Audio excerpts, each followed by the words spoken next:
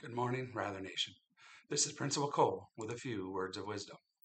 Booker T. Washington said, It makes a great deal of difference in the life of a race, as it does in the life of an individual, whether the world expects much or little of that individual or of that race. What do you think? Does it make a difference if the world around you expects you to succeed? What if the world around you expects you to fail? Here at school, we expect the best from you.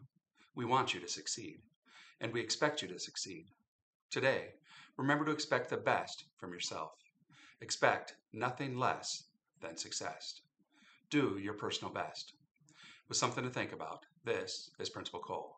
Be great today, or not. The choice is yours.